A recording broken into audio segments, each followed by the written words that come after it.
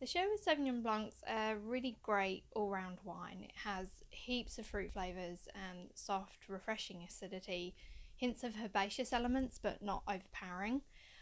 We use quite gentle production methods with this wine, really just letting the flavours in the fruit do the work.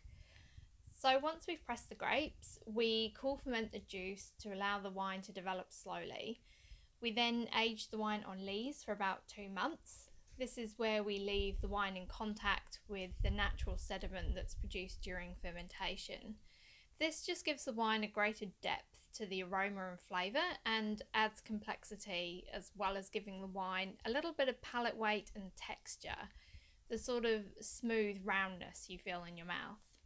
Once we've made the wine and it's developed in the tank, we bottle it right here on site. We take care of all the steps, right from the grape to the glass, and we're really proud of this that we can say we know exactly what has happened with this wine through every step of the process. It's our way of guaranteeing the quality of the wine and being able to say that we did it all.